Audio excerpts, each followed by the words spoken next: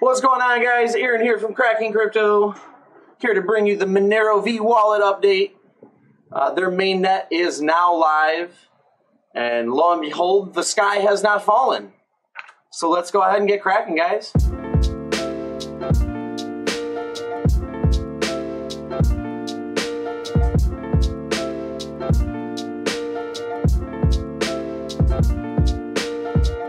All right, we're to wander on over to Monero V's official website, monerov.org, the private cryptocurrency.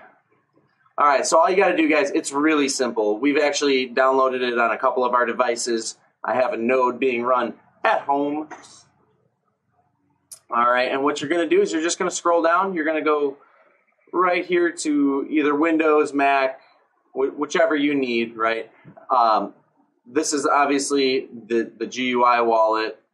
This is what most of us are going to be using, unless you're a real fancy nerd guy like our devs, Ben, and you want the coding, you can go over here. But anyway, so we're going to go ahead and download this, which I already did to make the video faster. So let's pop on over to the file. Pop. Okay, here we go. So check it out. This is what you're going to end up downloading. You're going to right click on it. You're going to extract all files um, using whichever program you prefer. We have WinRAR on here. Obviously, you can do it with default Windows by selecting Extract All. You just click through the folders, keep clicking until you get to here. All right, so once you get to this point, you're going to scroll on down. You're going to find the Monero V wallet GUI.exe, and we're going to run this. Okay, so once you unzip the files, guys, this is what you're going to see. Welcome to Monero V. Please select one of the following options. We're going to go ahead in this case and create a new wallet.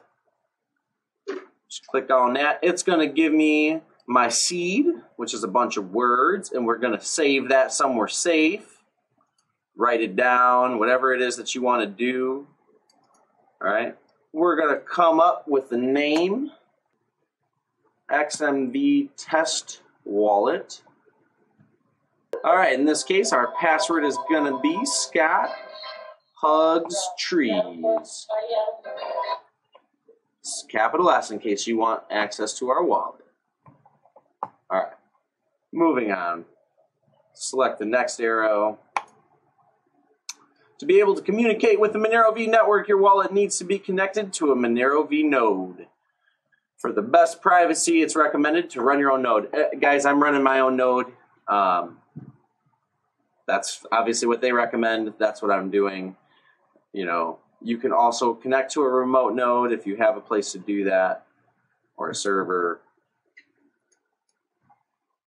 In this case, we're just going to start a node automatically in the background as recommended. So we're all set up. We're going to click Use Monero V.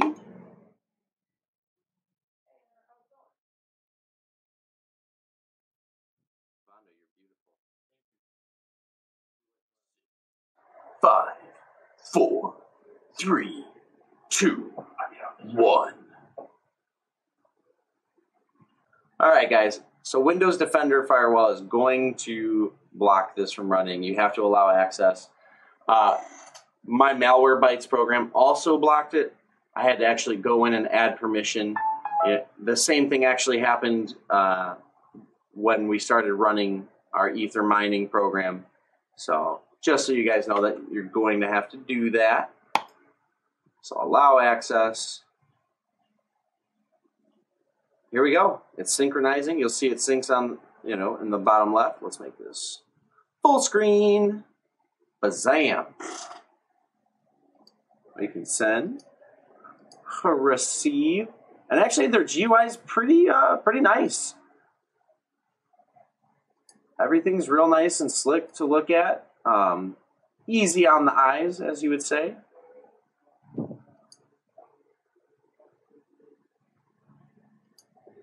I'm just going to click through all of this, go to your settings. And I mean, now I'm just going to sit here for a few hours and uh, let you guys watch my screen while it syncs. It's going to be beautiful. Do, do, do, do, do, do, do. Do, do, do, do, do,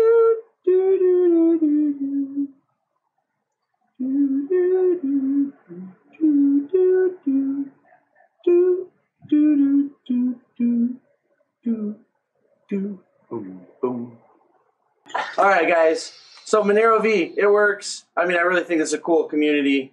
Um, I don't know, finite supply, working graphical user interface. I'm excited, man. I always feel like the more the merrier. You know, like I like to have options. Yeah. You know, let's try something different. Uh, like the the whole idea of the whole finite supply time thing, and trying to fix a few things that people may not dig about Monero. So I'm excited to see what happens with Monero V, and I like the wallet. It's pretty similar to the standard Monero wallet, so nothing too crazy there. Seems to work totally fine thus far. So let us know what you think. Drop a comment down below if you tried the Monero V wallet.